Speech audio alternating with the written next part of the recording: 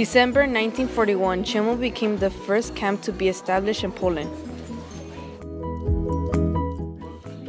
The capacity of Chelmno was 170,000 up to 360,000 people.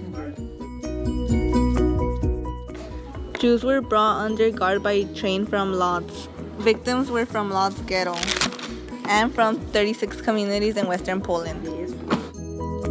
Chelmno was the first Nazi camp where the main cause was to burn and gas victims. 800 people were brought to Chelmno on the first day. Around 152,000 people were killed. Chelmno was in the top five of the most deadly extermination camps. Jews were forced to go into gas vans thinking they were gonna shower. They didn't know what was going to happen to them until the gas was turned on.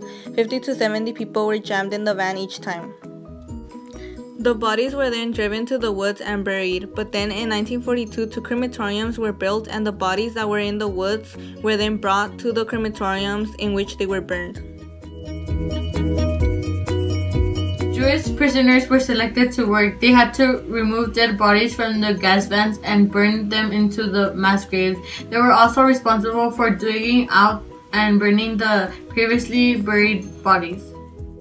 The Germans abandoned the Chelmno killing center on January 17, 1945 as the Soviet army approached.